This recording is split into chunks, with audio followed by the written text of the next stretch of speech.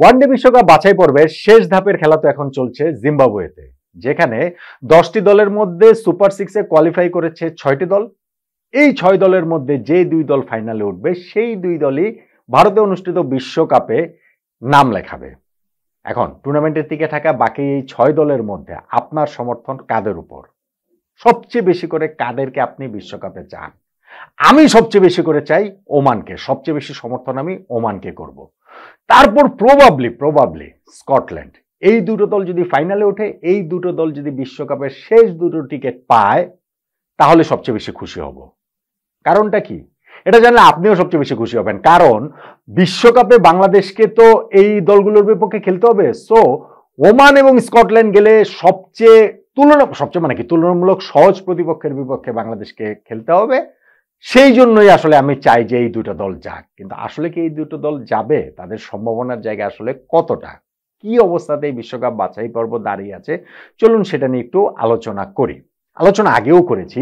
এই বিশ্বকাপ বাছাই পর্বে দশটি দল নিয়ে হচ্ছে, পাঁচটি করে দল দুটো গ্রুপে ভাগ হয়ে খেলছে। তার মধ্যে তিনটি করে দল, দুই গ্রুপ থেকে তিন তিন ছয়টা দল সুপার সিক্সে উঠেছে। সুপার সিক্সে উঠেছে, তারা পয়েন্ট সহ উঠেছে। মানে পয়েন্ট সহ উঠার অপশন ছিল সবাই যে পয়েন্ট সহ উঠেছে, ব্যাপারটা তা নয়। যেমন ধরুন আমি যদি এই গ্রুপের কথা বলি, সেখানে জিম্বাবুয়ে তাদের চারটা ম্যাচই জিতেছে, তাদের আট পয়েন্ট নেদারল্যান্ডস তিনটা ম্যাচ জিতেছে, তাদের ছয় পয়েন্ট আবার ওয়েস্ট ইন্ডিজ দুটো ম্যাচ জিতেছে, তাদের চার পয়েন্ট যদি আমি বি গ্রুপ থেকে যে তিনটা দল উঠেছে, শ্রীলঙ্কা ওইখানটা চারটা ম্যাচ জিতেছে, তাদের আট পয়েন্ট স্কটল্যান্ড তিনটা ম্যাচ জিতেছে, ছয় পয়েন্ট এবং ওমান ওইখানে দুটা ম্যাচ জিতেছে, চার পয়েন্ট তবে এই যে পয়েন্টগুলো এটা তো গ্রুপের পয়েন্ট সুপার সিক্সে তারা এই সব পয়েন্ট নিয়ে শুরু করতে পারবে না। করছে না, নিয়মটা সেটা না। নিয়মটা হচ্ছে নিজেদের গ্রুপের অন্য যে দুটো দল সুপার সিক্সে উঠেছে, সেই দলগুলোর বিপক্ষে ম্যাচের রেজাল্টটাই শুধুমাত্র, ম্যাচের পয়েন্টটাই শুধুমাত্র কাউন্ট হবে সুপার সিক্সে সেইখান থেকেই দলগুলো শুরু করবে। তো সেই হিসাবে জিম্বাবু এবং শ্রীলঙ্কা চার পয়েন্ট নিয়ে শুরু করছে। স্কটল্যান্ড এবং নেদারল্যান্ডস দুই পয়েন্ট নিয়ে শুরু করছে। ওয়েস্ট ইন্ডিজ এবং ওমান শূন্য পয়েন্ট নিয়ে সুপার সিক্স শুরু করছে। আর সুপার সিক্সের নিয়ম হচ্ছে এ গ্রুপের তিনটা দল বি গ্রুপের তিনটা দলের সঙ্গে খেলবে, আবার বি গ্রুপের তিনটা দল এ গ্রুপের তিনটা দলের সঙ্গে খেলবে। নিজেদের গ্রুপের দলের সঙ্গে সেখানে আর খেলা হবে না। তাহলে যদি ওইভাবে হিসাব করেন, এইখানটাতে সর্বোচ্চ গ্রুপ পর্ব থেকে চার পয়েন্ট নিয়ে যাওয়ার অপশন ছিল, যেটা হচ্ছে গিয়ে শ্রীলঙ্কা এবং জিম্বাবুয়ে নিয়ে যাচ্ছে। এবং সুপার সিক্সে খেলা হবে ছয় পয়েন্টের তিনটা ম্যাচ তার মানে আসলে বেসিক্যালি দশ পয়েন্টের খেলা। দশ পয়েন্টের মধ্যে চার পয়েন্টের খেলা হয়ে গেছে। সেই চার পয়েন্টের খেলাটাতে যেহেতু চার পয়েন্ট করেই পেয়েছে জিম্বাবুয়ে ও শ্রীলঙ্কা, তাদের অ্যাডভান্টেজ রয়েছে। দুই পয়েন্ট করে নেদারল্যান্ডস এবং স্কটল্যান্ড, তারা মাঝামাঝি জায়গায় রয়েছে। এবং ওয়েস্ট ইন্ডিজ এবং ওমানের কোনো পয়েন্টই নেই। তারা একেবারে সবচেয়ে বেকায়দায় আছে। এখন ফাইনালে ওঠার লড়াইটাতে কারা এগিয়ে থাকবে? ডেফিনেটলি চার পয়েন্ট করে আছে যে জিম্বাবুয়ে ও শ্রীলঙ্কা তারাই এগিয়ে থাকবে। ধরুন এই দুটো দল যদি সুপার সিক্সের নিজেদের তিনটা করে ম্যাচে যদি জিতে যেতে পারে জিম্বাবুয়ের হচ্ছে গিয়ে সুপার সিক্সে তারা খেলবে বি গ্রুপের তিন দলের এগেনস্টে সেই তিনটা দল হচ্ছে গিয়ে শ্রীলঙ্কা স্কটল্যান্ড ও ওমান এই তিন দলের বিপক্ষে যদি তারা জিতে, তাদের দশ পয়েন্ট হয়ে যাবে। এখন যদি তারাই তিন দলের বিপক্ষে জিতে, শ্রীলঙ্কা তো আবার তিন দলের বিপক্ষে জিততে পারবে না। জিম্বাবুয়ের সঙ্গে খেলা তো হয়েছে। সো কোনো না কোনো একটা জায়গাতে দশ পয়েন্ট করে দুটো দলের আসলে হবে না। সর্বোচ্চ দশ পয়েন্ট হতে পারে, কিন্তু আট পয়েন্ট এবং আটের বেশি পয়েন্ট করে কিন্তু দুই বা তার চেয়ে বেশি দলের হতে পারে। খেলাটা আসলে সেই জায়গাটাতেই। আবার ওয়েস্ট ইন্ডিজ এবং ওমান কীরকম বেকায়দা অবস্থায় আছে? দেখেন, এই দুটো দল শূন্য পয়েন্ট করে রয়েছে। সুপার সিক্সে তিনটা করে ম্যাচে যদি তারা জেতে, তাহলে সর্বোচ্চ ছয় পয়েন্ট পেতে পারবে। এবং সেই ছয় পয়েন্টে কাগজ কলমে এখনও সম্ভাবনাটা টিকে রয়েছে টেকনিক্যালি কিন্তু চান্স আসলে খুবই কম, ছয় পয়েন্ট নিয়েও ফাইনাল খেলার যোগ্যতা অর্জন করার ক্ষেত্রে। আচ্ছা এখন যদি আমি বলি, এগিয়ে আছে কারা? সবচেয়ে সুবিধাজনক অবস্থানে এই মুহূর্তে দাঁড়িয়ে আছে, আমি মনে করছি, জিম্বাবুয়ে। কেননা তাদের ব্যাগে চার পয়েন্ট রয়েছে। তারা বি গ্রুপের যে তিনটা দলের বিপক্ষে খেলবে, তার মধ্যে প্রথম ম্যাচটাই তারা খেলবে ওমানের বিপক্ষে। সো ওই ম্যাচটা তারা জিতবে, ধরে নেওয়া যায় ছয় পয়েন্ট হয়ে গেল।